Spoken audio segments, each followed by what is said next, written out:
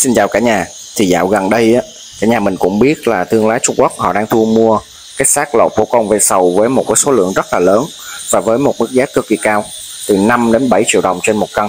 Và tại sao họ lại thu mua với cái mức giá cao đến như vậy á, thì mời cả nhà mình cùng tìm hiểu với Nghĩa ngày hôm nay nha. Bây giờ thì cũng vào hè rồi, cũng chính là cái mùa con ve sầu nó từ cái ấu trùng ở trong lòng đất á, nó chui lên để lột xác và nó tiếp tục cái chu kỳ sinh sản của nó thì khi con ve ấu trùng nó bò lên để lột xác thì nó sẽ để lại cái xác khô bên ngoài như thế này nè cả nhà. Và chính cái phần xác khô bỏ lại này nó sẽ được sử dụng để làm thuốc. Thì từ xa xưa ở Việt Nam và Trung Quốc, nó đã được sử dụng nhiều trong những cái bài thuốc y học cổ truyền. Nó trị được rất nhiều các cái chứng bệnh khác nhau. Thì cái xác lột của con ve sầu nó có tên trong dược liệu là thuyền thoái nè, hay là thuyền thuế thiền tuế, vân vân. Thì theo nghiên cứu y học hiện đại cho thấy thì cái vỏ của con ve sầu nó có chứa chitin protein, axit amin, axit hữu cơ, hợp chất phenolic và các cái nguyên tố vi lượng khác nhau. Thì trong đó nó có là 16 nguyên tố thiết yếu cho cơ thể con người. Chẳng hạn như là sắt nè, mangan, canxi, magie, kẽm, phosphor. Thì nó có tác dụng là an thần, giảm đau, chống co giật, chống dị ứng, chống virus và chống khối u. Cái thời điểm mà cái con ve sầu nó chui từ dưới lòng đất lên đó cho đến khi mà nó lột xác thì nó nhanh lắm cả nhà mình ơi. Chỉ trong vòng khoảng tầm 2 tiếng đồng hồ là nó lột xác và nó bay đi rồi. Nó để lại cái xác khô như này nè. Đó. không phải là là con nào nó cũng cứ lên nó đậu trên cây đâu nha. Có một số con là nó lên tới trên mặt đất là nó là lột xác trên mặt đất rồi. Chứ không có nhất thiết là nó sẽ lên cây đâu.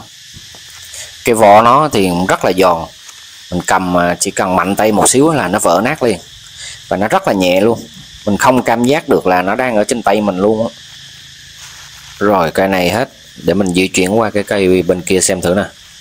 Mình là đang đi tìm ở trên cái đồi thông á. Cho nên là cái xác lột của con ve sầu này là nó có cái màu nâu. Nhìn từ xa là mình thấy liền nè. Cái cây này có nè. Đây. Đó, một con ở sau có một con nữa nè. Cái công dụng đầu tiên mà mình thấy nó phổ biến nhất á, là nó trị trứng trẻ em. Nó hay co giật và khóc đêm thì theo nghiên cứu y học cái sự thiếu hụt mangan ở trong cơ thể con người là nó có thể gây co giật. Đặc biệt là ở trẻ em, thì nó làm cho bé nó dễ bị co giật và nó quấy khóc vào ban đêm cái tác dụng chống co giật của cái xác con ve sầu này nè nó có liên quan đến do nó có mang cái hàm lượng mangan cao ở trong cái cơ thể của nó. Về cái cách dùng thì trước khi mình sử dụng thì à, mình nhớ lưu ý là mình rửa sạch và mình phơi khô. Vì cái con ve sầu này nó chui từ trong lòng đất, nó chui lên cho nên là cái khả năng nó sẽ mang theo các cái loại vi nấm có hại. Thì sau khi mình phơi khô thì à, các anh chị nhớ tiến hành mình rang nhỏ lửa trên cái chảo. Cho đến khi nào mà nó vàng giòn là được. Thì sau đó mình lấy cái bột đã được tán nhuyễn cho vào à, cái bát con. Đó. thì đối với trẻ em sơ sinh và bé nó đang bú thì mình dùng khoảng 2 gram mình pha thêm sữa mẹ rồi mình đem hấp trên cái nồi cơm sôi đã cạn nước đến khi nào nó chín thì cho bé dùng từ 2 đến 3 lần trên ngày còn bé đã lớn thì đem bột hãm với nước sôi hoặc là sắc nhỏ lửa cho bé uống 3 lần trên ngày. Cái công dụng tiếp theo của cái xác lọc con ve sầu hay còn gọi là cái thuyền thói thì nó sẽ chữa viêm phế quản và ho mất tiếng cũng rất là hay. Đó, thì các bác sĩ dùng cái bài thuốc là thuyền thói thì mình dùng 3 gram cắt cánh 5 gram ngưu bằng tử 10 gram cam thảo 3 gram mình đổ với 400 ml nước và sắc còn khoảng 200 ml nước thì mình chia làm 3 lần uống trong ngày và nhớ là nên uống khi thuốc nó còn ấm nha. Tiếp theo là nó chữa bệnh sởi. Thì mình dùng 6 gram thiền thoái nè 12 gram cắt căng 8 gram liên kiều 6 gram xích thược 4 gram bối mẫu 6 gram kinh giới 2 gram cam thảo. Thì mình sắc với 400 ml nước. Còn khoảng 200 ml nước thì mình chia ra mình uống cả ngày. Mình cũng uống là khi nó còn ấm nha cả nhà. Còn đối với những bé mà khóc đêm nhiều thì anh chị dùng từ 7 đến 9 cái xác con ve sầu mình ngắt bỏ đầu chân đi, rồi mình dùng với hai cái ngọn rau kinh giới mình cho vào cái chén con mình chân cách thủy, hoặc là mình hấp cơm mình lấy nước cho bé uống. Thì bé nó sẽ giảm khóc đêm và nó ngủ ngon giấc hơn. Còn đối với anh chị mà bị nóng ở trong người đặc biệt là nổi mụn ở vùng đầu, vùng mặt và vùng lưng thì mình sẽ dùng cam thau sống 10g sinh địa 60g tan diệp 60g huyền thói 20g mình sắc với 400ml nước. Khi nào nó còn khoảng 200ml nước thì mình chia ra làm 3 lần uống trong ngày. Và cả nhà mình lưu ý là chỉ dùng trong cái trường hợp mà mình bị nóng trong người thôi nha. Chứ còn đang hàng mà đang cảm lạnh thì mình không nên dùng cái ờ, thuyền thói này đâu. Còn với những anh chị mà mắt có màng mỏng thì mình dùng thuyền thoái xà thoái là cái xác lột của con rắn xuyên khung, chích thảo mỗi thứ là 3 gram bạch tật lê phòng phong xích thược mỗi thứ 12 gram thương trục, đương quy mỗi thứ 8 gram thạch quyết minh 20 gram thì mình sắc với 400 ml nước. Khi nào còn 200 ml nước thì mình chia làm 3 lần uống ở trong ngày. Tiếp theo là trị mắt sưng đỏ, thì mình dùng thuyền thoái, đăng tâm thảo, mỗi loại 5 gram kim ngân hoa, long đẩm thảo thảo quyết minh, sinh địa, cúc hoa vàng, mỗi loại 12 gram liên kiều 10g mình sắc với 400 ml nước. Khi nào nó còn 200 ml nước thì mình chia làm 3 lần uống ở trong ngày. Và theo y học cổ truyền thì à, thuyền thói nó cũng khá hiệu quả. Trong cái việc điều trị bệnh uống ván, thì cả nhà mình lấy cái xác với sầu này nè. Mình rửa sạch, mình phơi khô, mình sao vàng, rồi xay mịn.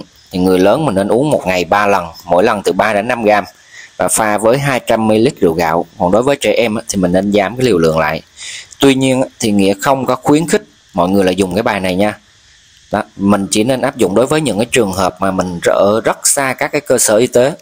Điều kiện nó đi lại khó khăn tại vì là đối với trường hợp uống ván mà mình điều trị không kịp thời thì cái tỷ lệ gây ra tử vong rất là cao.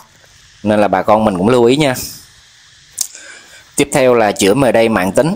Thì sát về sầu bạch tật lê mình đem mình xay bột và một cái lượng mật ong thích hợp để mà mình làm thành viên. Thì mỗi viên nó nặng khoảng 3 gram và mình uống từ 2 đến 3 lần. Mỗi lần một viên uống với nước ấm.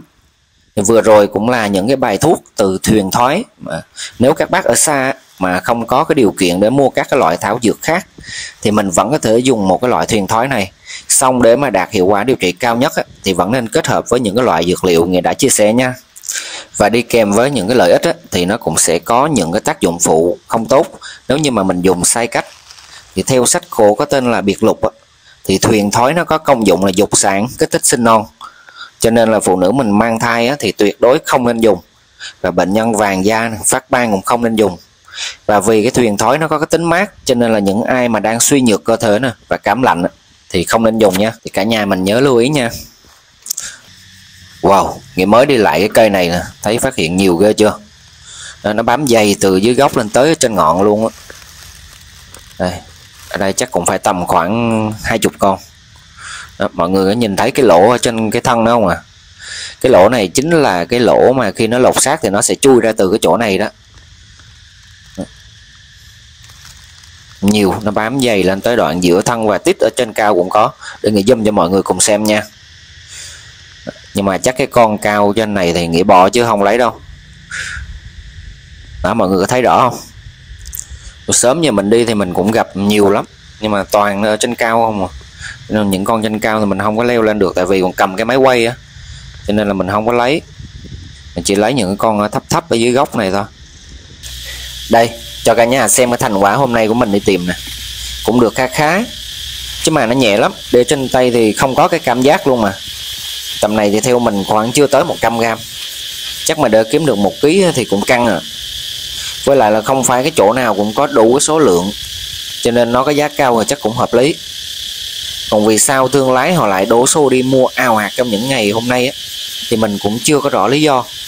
Tại vì cái thuyền thói này nó đã được dùng từ lâu lắm rồi chứ không phải là một cái hiện tượng mới nổi đâu. Thì có bác nào mà nắm được cái thông tin vì sao á thì uh, chia sẻ để lại cái bình luận phía dưới cho nghĩa và cả nhà mình cũng biết nha. Vừa rồi thì nghĩa cũng đã giới thiệu về công dụng của sát lọc con ve sầu. Thì mọi người xem xong thì nhớ nhấn like và bấm đăng ký kênh giúp nghĩa nhé. Hẹn gặp lại cả nhà trong những video sau.